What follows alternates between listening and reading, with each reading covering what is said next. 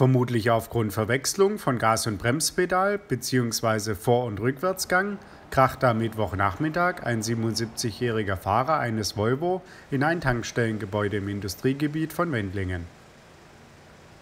Der 77-jährige Pkw-Lenker fuhr gegen 16.15 Uhr auf das Tankstellengelände in der Heinrich-Otto-Straße auf und hielt kurz vor dem dortigen Tankstellengebäude an. Nach kurzem Stillstand fuhr er dann vorwärts gegen die Eingangstür des Tankstellengebäudes und beim anschließenden Rückwärtsfahren mit seinem Heck gegen einen an einer Zapfsäule wartenden Mercedes Sprinter.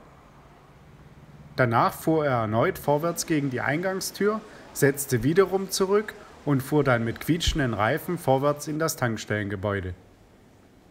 Dort kam er dann mit seiner Fahrzeugfront im Kühlregal zum Stehen. Der 77-jährige Volvo-Lenker zog sich bei dem Unfall leichte Verletzungen zu, wurde jedoch vorsorglich durch den Rettungsdienst in eine Klinik eingeliefert. Der Mitarbeiter der Tankstelle, welcher sich zum Unfallzeitpunkt allein im Gebäude befand, wurde nicht verletzt. An dem Tankstellengebäude und den beiden Pkw entstand ein Sachschaden in Höhe von ca. 46.000 Euro